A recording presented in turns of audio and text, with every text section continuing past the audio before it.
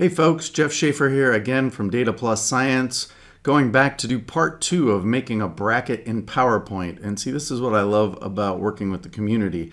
Jon Schwabish posted a video on how he made brackets in uh, PowerPoint, and then uh, I posted one, and then Kevin Flerlage posted a, a solution. And when I saw Kevin's solution, um, he used this frame, and when he made a frame, uh, he moved this yellow uh, slider to size the, the frame. And I, and I knew about that, but what I didn't know is that uh, I could use that same technique on a bracket, which really solves the problem altogether. If we draw a bracket, um, the problem that uh, Jon was running into in the first place that he was trying to solve is the weird shape of it. And I didn't realize that uh, not only does it control the size, it also controls the shape. So if we want a rounded bracket, we can do that. And if we want a square bracket, we simply do that. So all of these uh, things that we did uh, turned into a very simple solution.